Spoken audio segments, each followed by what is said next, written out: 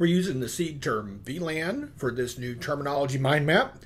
You need about six minutes, pen and paper or mind map app, and we're going to stop your brain from forgetting so much about VLANs.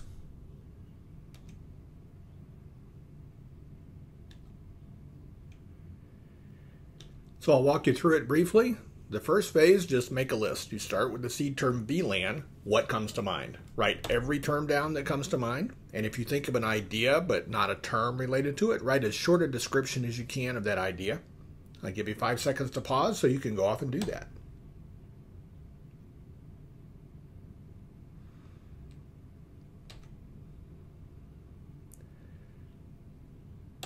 Next up, turn that list into a mind map. So what does that mean? You put your seed term in the middle, and then any terms in your list that you think are related for any reason, put them together somehow. And then if there are other terms that are related to each other, put them somewhere else, but together.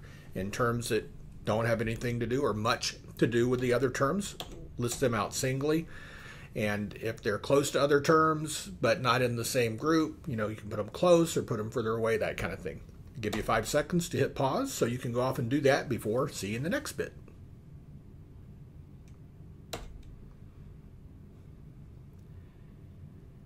At phase three, optional, but here's a list of terms that I came up with from the content video related to this review activity. So you can look at this list, look at your mind map, and if you see terms here you might want to add to your list, feel free to do so.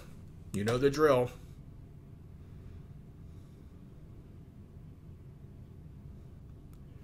So let me talk you through my mind map that I came up with. Here's my seed term VLAN over on the left. And just to emphasize, the mind map app this one, it requires me to put things in some kind of a hierarchy. And so I came up with group one and I called it something generic like that just to make the point to you that uh, don't let the categorization and some label for the category throw you off. Like here, here are some terms I came up with that were related to VLANs, and I knew they kind of went together, but I didn't know how to label it. So I just said group number one. All right. I could have put all of these as direct nodes off of the seed term and just listed them there. That's fine. But I put them off this group one term. And I could come up maybe later with a better term that characterized how, why I think of these as going together, for instance. But there's virtual LAN. I put the VLAN acronym out beside it. They seem to be closely related. Then broadcast domain, that archaic term that led us to then use the term VLAN once the world had VLANs. And then those related terms, access port and trunk port. So a port on a switch will be either or.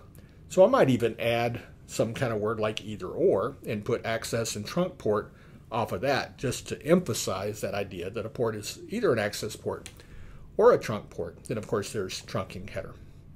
But again, there's access ports as in the center item and as the bottom item, trunk ports. So the concepts and terms that I remembered on access ports I put there. There's the VLAN assigned to an access port called an access VLAN. And just to emphasize, an access port is not a trunk port. I just put non-trunk. That's really more a description than a term. Then down at the bottom, it says trunk ports.